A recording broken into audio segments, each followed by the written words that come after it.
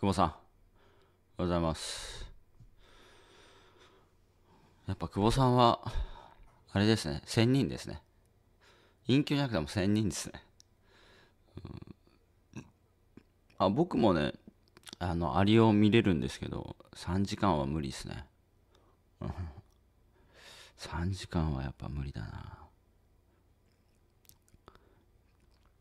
まあでもね、あの、人よりかは暇になって思ったことが、あーいいですね、暇は。うん。でも退屈ではないですね。うん。まあ、日々こういう動画も撮ってますし、まあ時間が、なんか、や、なんだろうな。なんか、やらされて、なんだろうな、多分ね、あれなんですよ。自分の、自分がこうしたいと思ってこうできるので、まあ、ほとんどの人って多分やらされてると思うんですよね。だから仕事もしんどいっていうのも、その、例えば今朝6時半か。朝6時半なんだけども、まあこれからね、わ、会社だ、みたいなとかね。うん自分は会社行きたくないけど、会社のために無理やり朝早く起きて、で、あの支度してね、行くっていう人生を送るわけじゃないですか。僕の場合は今日は自然に目が覚めたというかてか毎日自然が自然に目が覚めた時に起きるんですよ。だから昔はそのアラームとかつけてたんですけど今一切アラームないですね。うん。だからアラームかけないですよね。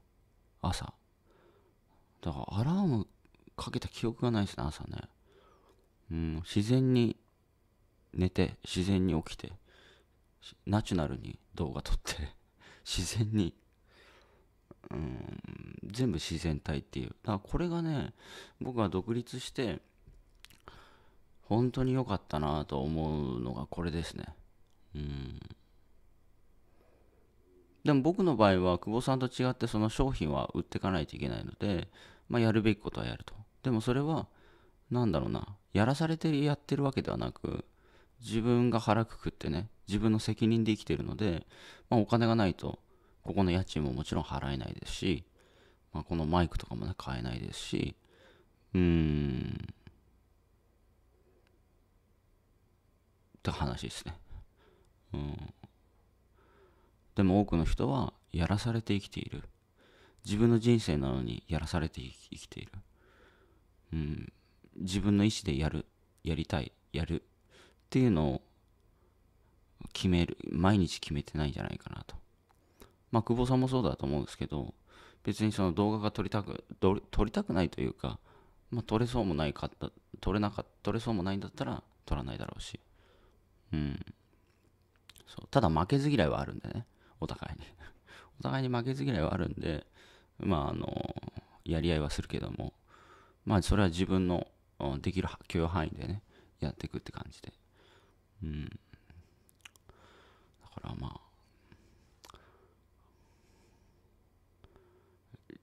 うん。自分の意思で生きれるといいですね。はい。